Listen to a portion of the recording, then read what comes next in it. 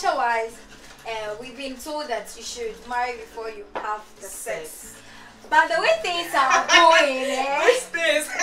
But even kissing is sex. okay. Because you're exchanging um, saliva. okay. And when you're having sex, what do you exchange? Is it not something that is going? I don't know what they exchange. I've never done it. we are cooking a top, people. Please, we are cooking a top. they Okay. exchange. we are all virgins, we are not naive. we know that there, there is still something you exchange down there.